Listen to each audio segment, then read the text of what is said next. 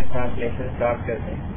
के लिए सबसे पहले हमें सर्वर ऑपरेटिंग सिस्टम रिक्वायर्ड है, एक सिंगल ठीक है? उसके बाद हमें सर्वर मैनेजर पे जाना है, जिसमें हमें routing and remote access service on करनी है।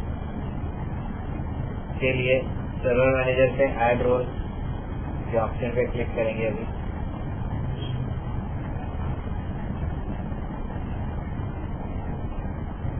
रोल सेलेक्ट किया। एड रोल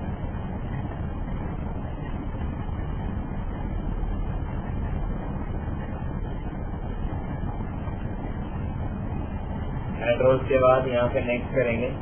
यहाँ पे network policy and access services select करके नेक्स्ट करना है और इसके अंदर routing and remote access service आएगी, जो प्रीवियसली हमने वीपीएन में किया था जैसे, ठीक है?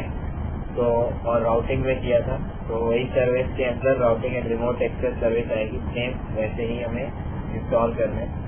इसका सर्विस अगर इंस्टॉल्ड होगी तो इसके नीचे ऑप्शन आ जाएँगे इसके।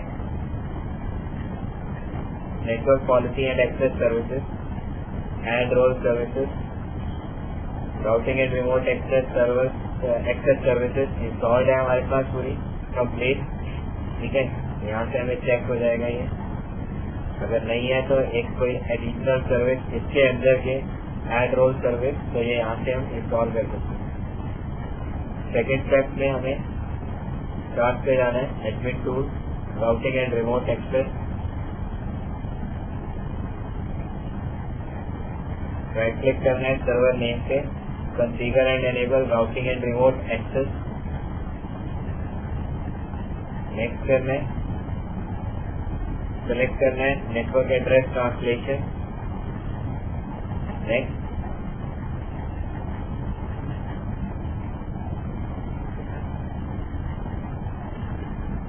या वीपीएन एंड नेट भी कर सकते हैं। अब इसके अंदर हमें कम से कम दो नेटवर्क इंटरफेसेस चाहिए। तो हम यहाँ से चेक करते हैं कि हमारे जो वर्चुअल मशीन है, इसमें एक नेटवर्क एडेप्टर है कि दो है। हमारे पास एक सिंगल नेटवर्क एडेप्टर है, जिसका आईपी एड्रेस हम चेक कर लेते हैं। टेन ज़ीरो ज़ीरो थ्री एक और नेटवर्क एडेप्टर हम ऐड करते हैं इसमें ईएमसी सेटिंग्स में जाके एड नेटवर्क एडेप्टर कस्टम कर देते हैं पहले ही नेटवर्क एडेप्टर को वीएमनेट वन के साथ ओके कर देते हैं। ऐड होगा।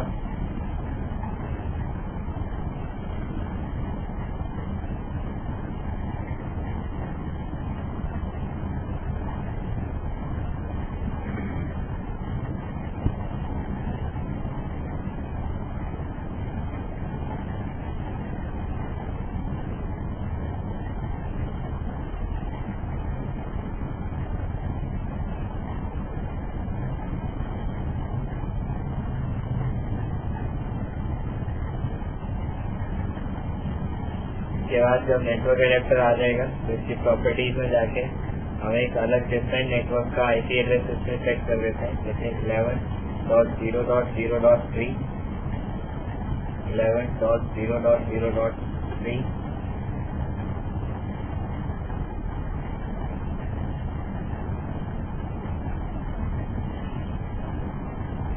next अब इसको एक बार कैंसिल करते हैं। अगेन दोबारा सर्वर नेम पे राउटिंग एंड रिमोट एक्सेस में कंफिगर एंड एनेबल करते हैं। Next VPN and that next local area connection यहाँ पर हम सेलेक्ट करेंगे जो एक्सटर्नल नेटवर्क पे कनेक्ट होगा। ये वीपीएन के लिए है। न्यू पे क्लिक करते हैं।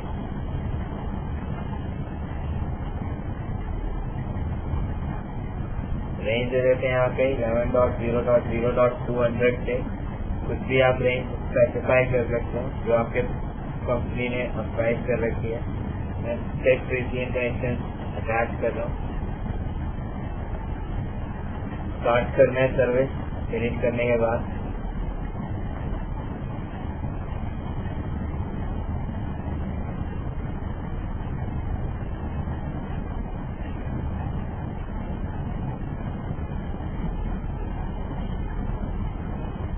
के बाद हमें सर्वर नेम एक्सपेंड करना है। इसके अंदर सर्वर नेम में IPv4 एक्सपैंड करना है। फिर नेट का एक ऑप्शन आएगा। नेट के ऑप्शन पे राइट क्लिक करना है। न्यू इंटरफेस यहाँ पे क्या आ रहा है? New new interfaces are available for addition because ये सारे एडिशन हमारे पास ऐड हो चुके हैं। अब हमें क्या करना है? जैसे मेरे पास लोकल एरिया कनेक्शन है टेन की सीरीज़ का लोकल एरिया कनेक्शन टू है इलेवन की सीरीज़ का। तो लोकल एरिया कनेक्शन पे राइट क्लिक करना है, ठीक है? प्रॉपर्टीज़ पे जाना है। यहाँ पे इंटरफेस टाइप इसको आपने क्या रखा हुआ है? पब्लिक इंटरफेस जो इंटरनेट से कनेक्टेड है एनेबल किया हुआ है नेट इस इंटरफेस पे। अगर मैं सर्विसेज़ पोर्ट पे जाऊँगा तो ये सारी सर्विसेज़ चलेंगी एक्सटर्नल से, ठीक है? एड्रेस पूल टैब पे जाता हूँ तो your I S C assign का एड्रेस पूल ठीक है? ऐड करता हूँ तो ये मेरी पब्लिक आईपी एड्रेस की रेंज होगी। ठीक है?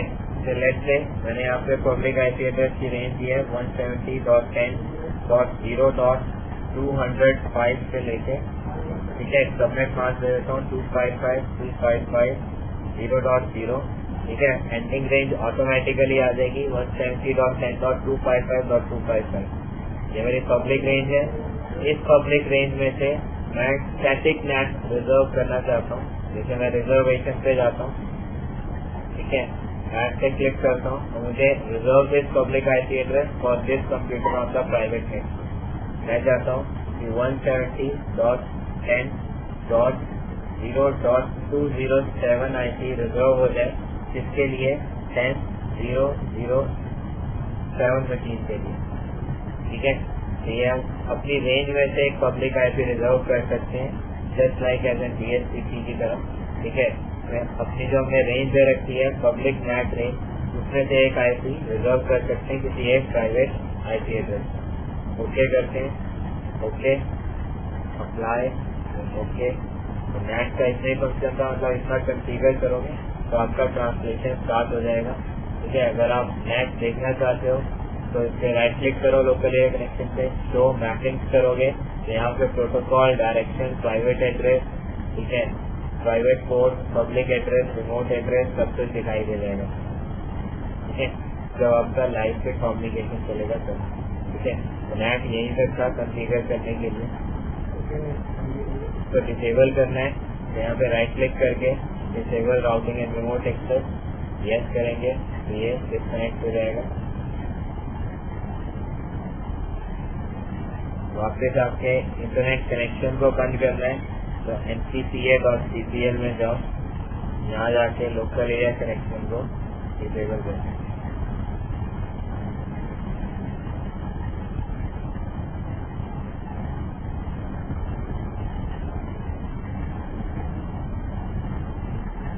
करने के बाद फिनिश होगा।